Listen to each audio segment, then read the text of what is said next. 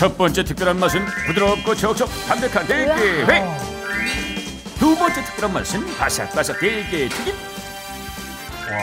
그리고 버터구이까지. 대게로 차려진 푸짐한 한상. 고소하고 짭조름한 맛이 일품인 버터구이. 게딱지 비빔밥을 스타일리시하게 살려낸 게딱지 오믈렛. 애들이 그리고 좋아하겠어요. 샥백해서 살살 녹는 대게회. 대게찜까지 다양하다. 특별한 대게 맛을 찾아 전국에서 온 손님들 기다린 대게살 튀김 대령하고 화려한데요. 손으로 툭 뜯어 입에 넣으면 아삭하고 씹히는 소리부터 맛있는데 아유 미치겠네 이게 입안에 착착 감기는 게요. 녹아요, 녹아. 이번엔 대게계의 베스트셀러 대게 찜대령 역시 찜이죠. 깔끔하게 잘라서 게살만 쏙 아이 껍질 안에 꽉찬 대게살이 너무 통통하게 커서 나온다 맛살 나와 나와 같은. 네, 알차다. 와,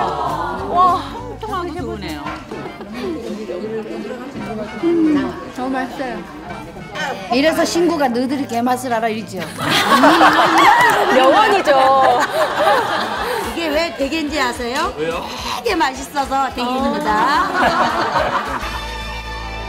입안 가득 되게 행복하게 만드는 제철 맞은 대게 대게가 있어 겨울은 행복합니다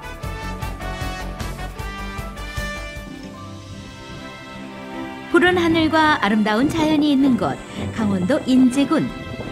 이곳에 특별한 집이 있다고 해서 찾아가 봤는데 그때 보이는 특이한 모양의 집. 이 집이 맞는 걸까 확인해 보기로 했는데. 한옥처럼.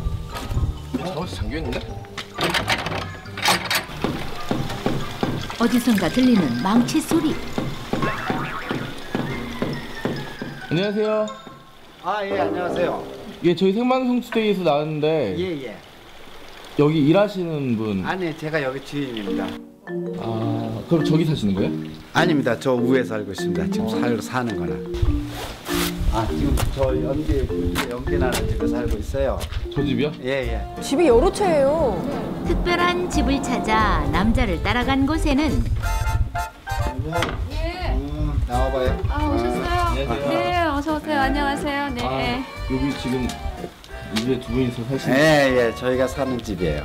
예. 행복 짓기 10년째 해송 황토집 오장규 김소연 씨 부부. 마치 동화 속에나 나올 것 같은 해송 황토집.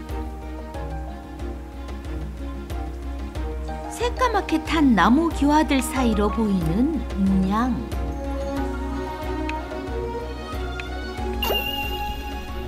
어디서 많이 본 듯한데 새마을 운동 아. 그 로고예요, 저희. 맞다, 아, 맞다. 그거를 그 근면 성실, 그 협동 자조 이것을 생각하면서 저 로고를 만들어서 저기다 세운 거예요. 새마을 운동 상징까지 내걸고 대단한 각오로 집을 지은 것 같다. 저 모자에 그려진 그거죠. 네, 잘 살아보세, 마크. 그런데 벽마다 눈에 띄는 나무들.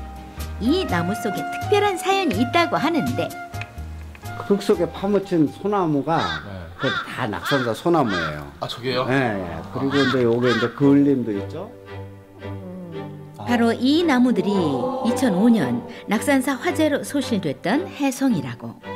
불에 탄 소나무로 집을 지으면은 잘 쓴다는 말이 있어서 그 낙선사에 가서 그 불에 탄 소나무를 사다가 아, 재단을 해서 지었어요. 불에 탄 낙산사 해송으로 완성한 집. 무려 1,400개의 낙산사 해송으로 집 뼈대를 세웠단다. 자, 안은 어떻게 생겼을까? 안으로 들어가 보니 따뜻한 느낌의 거실이 보인다. 이 안에 있는 가구들 모두 장규 씨의 손이 닿지 않은 가구가 없을 정도라는데 식사를 하면서 풍경을 바라볼 수 있도록 만든 주방 창문부터 멋스러운? 통나무 계단까지 모두 장규 씨가 만들었다. 이게 7년 전에